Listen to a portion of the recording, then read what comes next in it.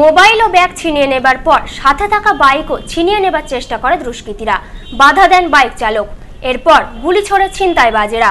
ঘটনায় গুরুতর জখম ওই ব্যক্তি ভর্তি হাসপাতালে।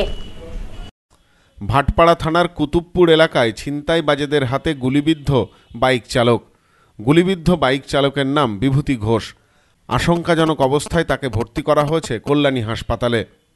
জানা গেছে, রবিবার কাজ থেকে বাড়ি ফেরার সময় ছিনতাইবাজেরা তার মোবাইল, টাকার ব্যাগ ছিনিয়ে নেয়। এরপর নতুন মোটর বাইকটি ছিনিয়ে নিতে গেলে বাধা দেন বিভূতিবাবু। বাধা পেয়েই দুষ্কৃতীরা গুলি চালিয়ে দেয়। পরপর দুটি গুলি চালায় দুষ্কৃতীরা। উনি ওনার পকেট থেকে মোবাইলটা ব্যাগসটা যখন তুলে নেওয়া হয়েছিল, তারপর উনি গাড়িটা নেওয়ার চেষ্টা করেছিল। তারপর উনি গাড়িটা না দেওয়ার কারণে ওনাকে গুলি করা হয়েছে এখন কল্যাণী হসপিটালে শুধু কি ছিনতাইয়ের উদ্দেশ্যে গুলি নাকি পেছনে রয়েছে অন্য কোনো কারণ? ঘটনার তদন্ত শুরু করেছে পুলিশ। নতুন গাড়ি সেটাকেই শেয়ার করে। এখন উদ্দেশ্যই সেটাকেই পার্টিকুলার করে মানে চিন্তাই ব্যাপার। এবং আমার ভাই কোনো ক্রিমিনাল নয় কোনো রাজনীতি নয় কোনো কিছু নয়। উনি একটা পার্ক স্ট্রিটের নার্সিং হোমে ম্যানেজার পোস্টে চাকরি করে। যেটা বর্তমানে যেটা ওর মোবাইলটাকে ফেলে দিয়েছি।